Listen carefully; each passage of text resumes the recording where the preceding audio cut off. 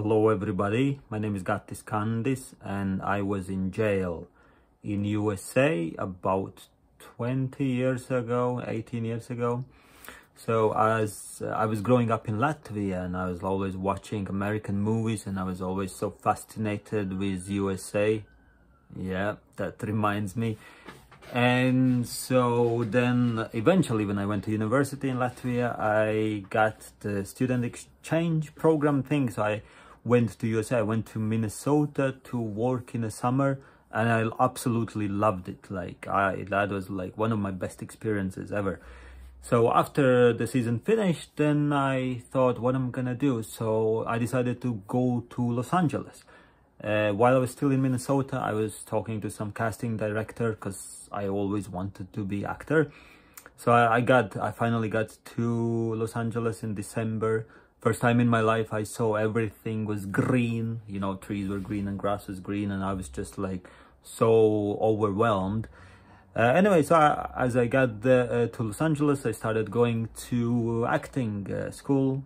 Uh, I, it, it was called Van Mar Academy in Hollywood and I loved it so much. It was like, oh, I loved it. So I, I went there, you know, try, trying to become an actor. So anyway, I went there for a few months. Uh, then, uh, unfortunately, my visa ran out.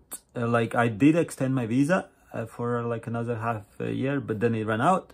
And so I was basically undocumented. Uh, I was not able to get a job or uh, and do anything so then um, I made I made a fake social security card and so I went to the central casting in Los Angeles uh, to to become a extra you know? I thought well that that's a good start you know? I was I was like 20 years old. I was like well that that's a good start. So I went there and they were very happily gonna take me on. They said they're gonna guarantee me four days a week extra work and I was like I was like overjoyed. I was like oh my goodness this is like my dream coming true you know?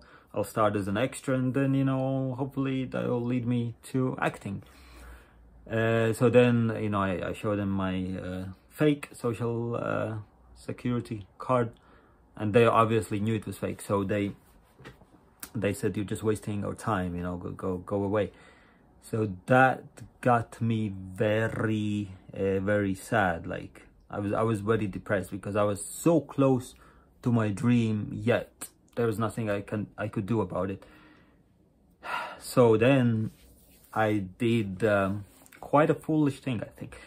Um you know how like in american movies often you know like some somebody or something wins even if it might be against the law simply because you know it's a good thing you know it's a good. So i was i was thinking well you know i'm a, i'm a good boy you know i should be getting a green card.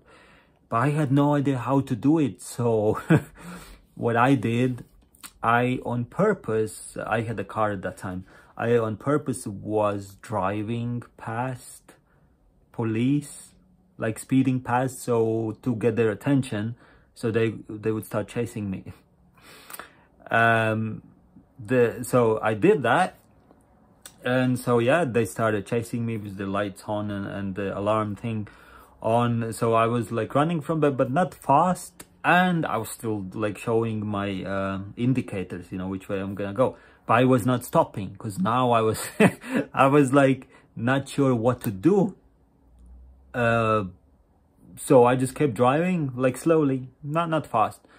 And so like I started noticing there were more police cars behind me and I was like didn't know what to do. So eventually I ran into a dead end street, meaning there was nowhere to go. So now I had to stop. Um, so now when I stopped, uh, you know, the, the, the police were there and so I turned around and there were about 10 police cars and also a helicopter. This was like in a nighttime, like a late, late night, so it was dark. There's a helicopter as well shining, you know, the big torch at, at my car as well. So now, you know, like the poor policemen were like saying, oh, put, put your, uh, put your um, uh, hands out, out the window on the roof. So I do, you know, I put my hands out on the roof uh, like and then after a while you know my, my hands get tired because you know I'm, I'm not a superman so I, I kind of put, like uh, put them uh, down again and they're like like shouting when they, they're like put your hands back on the roof so I put my hands back on the roof and then you know then they come like slowly approach me they like what did they open? I don't remember if they opened the door or not. And then then uh, they I think they did open the door. And then they were like oh you know get out the car but like ba backwards. So now now i got out the car. I don't know maybe i can't remember whether they opened the door or it was me. Anyway i got out the car face uh, like with my back towards them and they they told me you know like you know keep keep your like hands behind you. And so it was it was quite unusual quite unusual feeling because I presume they were probably aiming their guns at me and I was like you know didn't know what to do. Anyway so then they slowly approached me and they you know like put put uh, handcuffs on me and they put me in their police car so you might wonder why did I do it my reasoning was, you know, I'm going to tell them my story and they will, you know, feel sorry for me or maybe feel so inspired that they will give me a green card. Uh, instead, they said they're going to take me to jail. And I was shocked. I didn't expect it. I was like, me? I am a good boy. Like, I, I never done any crime. Why, why should I go to jail? So they, uh, they, I was, I was just sitting in the car and crying. Like instead of talking to them, I was, I was shocked. I was crying. So they did take me to jail. To whatever the the first stage is. There was like I was now together in uh, like a room with maybe like 40 other guys and there's literally nothing else there just like a couple holes in the floor for for the you know number one and two that you might need to do so everybody was literally around you uh, if you needed to do that. So I was there for, I don't know for how long, like many hours. I was like shocked, you know, in my, in my head, I was like shocked. I could not believe I was there. Then eventually I was transferred to another room to wait for longer. By the way, they were feeding peanut butter uh, jelly sandwiches and milk. That's all they had uh, but I didn't eat anything for 24 hours. I was like so shocked I didn't eat for 24 hours. Like if you know me, I eat all the time, but then, then I didn't. So I was like uh, sleeping on the floor and I had got a, got a toilet paper. So I was using that as a uh, pillow, just waiting for, you know, for the next step. Uh, eventually like uh, it, it took about 24 hours for for me to finally be put like in a cell so they put me in a cell together with another guy. I don't remember who that was. And then, the, then it hit me like, you know, the cell was kind of small cell, but the window, the window was that that like shocked me.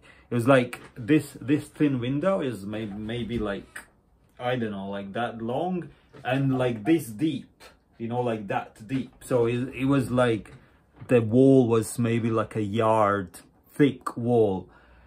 And so i was there now. I was i was i was just crying. I was like i could not believe it. I remember this other guy was just kind of like looking at me. Um so so i, I stayed in a cell for a few days uh was waiting to see the judge. And so like a couple days later i uh i went to see the judge and she was like oh, okay you know we will release you. All you have to do is just uh, community service for like a month or something. I was so incredibly happy to hear that. I was like i'm, I'm gonna do community service for two years like because I, I was like so happy to get out of there so as i was about to be released something else happened unexpected which i will tell you in another video if there is enough interest. Uh, anyways thank you so much everybody for listening to this and i will speak to you soon